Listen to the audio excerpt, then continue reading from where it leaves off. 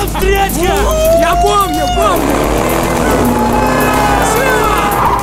С первых минут зритель погружается в современную реальность, вседозволенность, безнаказанность, безответственность. Именно такой видит Егор Кончаловский «Золотую молодежь». Им никто не указ, но есть ли другой путь? Возможно ли найти компромисс?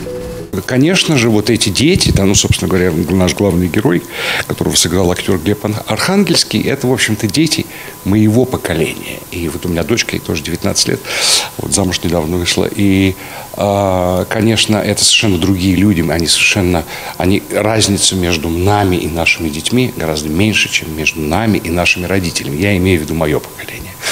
Вот эти вопросы, я, я не пытался на них ответить, я пытался их, наверное, задать. Ответить на вопросы, поставленные автором картины, попытались зрители, ровесники главного героя. Старшеклассники внимательно посмотрели фильм. Не у всех сложилось однозначное мнение. Ребята очень живо обсуждали картину Егора Кончаловского с режиссером Народного театра «Крылья» Ольгой Кобецкой. Фильм оставил неоднозначное ощущение. То есть, э, по большей части мне не понравилось. Вот самое главное, что мне не понравилось, это стереотипное мышление о, ну, как я считаю, э, молодежи, так скажем. Это прям... Мне было неуютно, когда я смотрела этот фильм.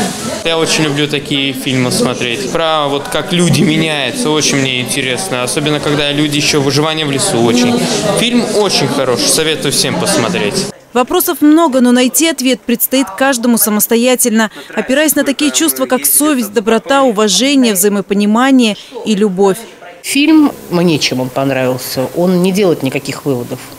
Он заканчивается на том, что нужно подумать.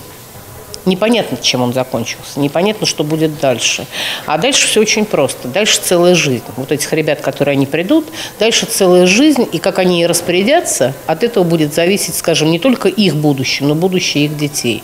Эти встречи очень важны для современной молодежи, и они будут продолжены. Показ картины Егора Кончаловского на Луне смогут увидеть и другие старшеклассники. Следите за афишами театрального центра. Мария Шматкова, Николай Бирюков, Юрий Антохин, телекомпания «Одинцова».